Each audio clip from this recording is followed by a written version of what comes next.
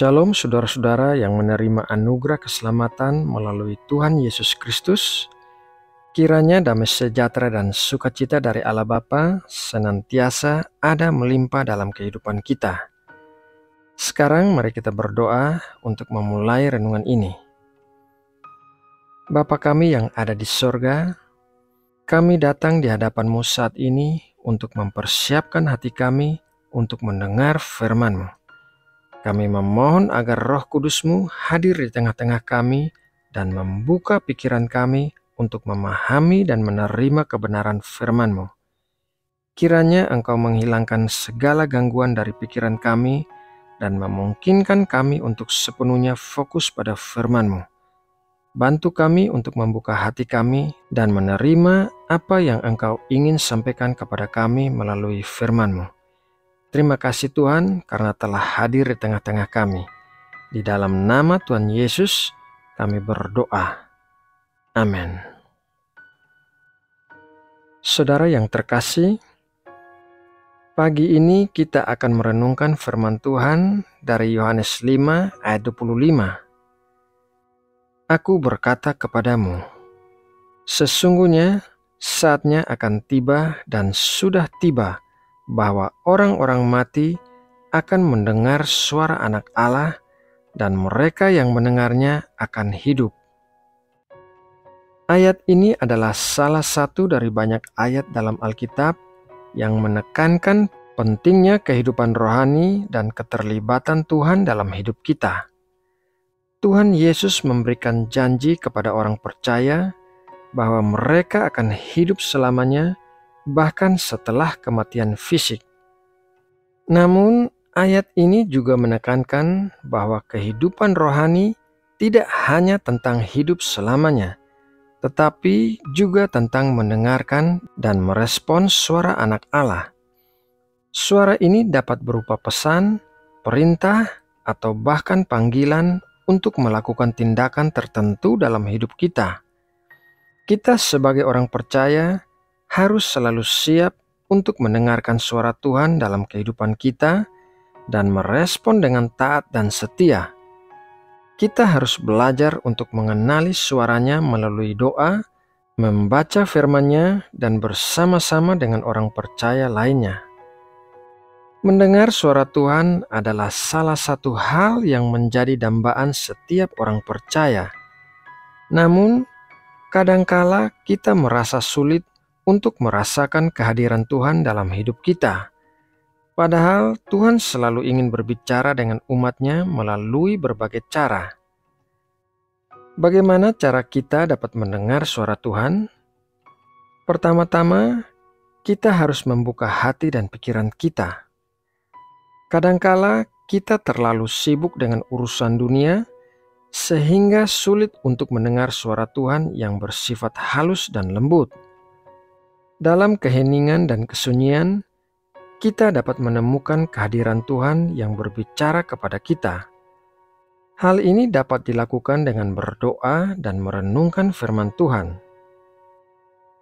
Kedua, kita perlu belajar untuk mengenali suara Tuhan. Dalam Alkitab, Tuhan berbicara kepada umatnya melalui berbagai cara seperti mimpi, penglihatan, nubuat, dan perantaraan orang-orang yang diutusnya. Ketika kita merasa Tuhan berbicara dengan cara tertentu, kita perlu memeriksa apakah pesan tersebut sejalan dengan firman Tuhan dan kehendaknya. Ketiga, kita perlu belajar untuk taat dan patuh kepada Tuhan. Tuhan sering kali berbicara kepada kita melalui hati nurani kita kita perlu memeriksa apakah hati kita merasa damai dan tenang saat melakukan suatu keputusan atau tindakan. Jika hati kita merasa tidak tenang, mungkin itu adalah pertanda bahwa kita tidak taat kepada kehendak Tuhan. Yang keempat, kita perlu belajar untuk bersikap rendah hati. Kadangkala Tuhan berbicara melalui orang-orang di sekitar kita. Kita perlu membuka hati dan telinga kita untuk mendengarkan nasihat dan petunjuk dari orang lain. Jangan meremehkan orang lain atau menganggap diri kita lebih pintar daripada orang lain. Tuhan sering kali berbicara melalui orang-orang yang paling tidak terduga. Kelima, kita perlu belajar untuk bersabar dan bertekun. Mendengar suara Tuhan bukanlah hal yang mudah dan sering kali memerlukan waktu dan ketekunan. Jangan putus asa jika kita merasa sulit untuk mendengar suara Tuhan. Teruslah berdoa, merenungkan firman Tuhan, dan berusaha untuk hidup dalam kehendaknya. Mendengar suara Tuhan bukanlah hal yang mudah, namun sangat penting dalam hidup seorang Kristen. Kita perlu membuka hati dan pikiran kita, mengenali suara Tuhan, taat dan patuh kepada Tuhan, bersikap rendah hati dan bersabar, serta bertekun dalam mencari kehendak Tuhan. Dengan demikian, kita dapat hidup dalam kehendak Tuhan dan merasakan hadiratnya dalam hidup kita. Dalam keadaan yang sulit, kita harus percaya bahwa Tuhan selalu bersama kita dan memberikan kekuatan kepada kita untuk menghadapi tantangan tersebut. Kita harus mempercayai janjinya bahwa kita akan hidup selamanya dan bahwa kehidupan rohani kita adalah hadiah darinya. Saudara yang terkasih, Yohanes 5 ayat 25 mengajarkan kita bahwa kehidupan rohani adalah tentang mendengarkan suara Tuhan dan merespon dengan taat. Kita harus selalu siap untuk mengenali suaranya dan melakukan kehendaknya serta percaya bahwa Dia selalu bersama kita dan memberikan kekuatan kepada kita.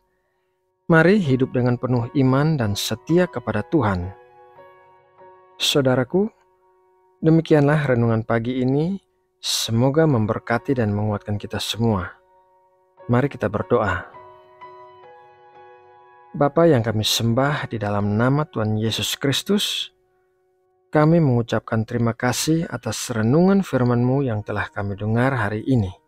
Kami berterima kasih karena melalui renungan ini kami bisa mengenal Engkau lebih dalam dan mendapatkan pengajaran yang berharga. Kami berdoa memohon berkat dan perlindungan-Mu selalu menyertai kami dalam setiap langkah hidup kami. Di pagi hari ini, kami memohon agar Engkau memberkati segala aktivitas yang akan kami lakukan. Berikanlah kami hikmat untuk mengambil keputusan yang baik dan bijaksana. Bimbinglah kami dalam setiap tindakan dan jangan biarkan kami tersesat dari jalan-Mu. Kami juga memohon berkat dan perlindungan-Mu senantiasa menyertai kami, keluarga kami, dan teman-teman kami di sepanjang hari ini. Terima kasih ya Bapak.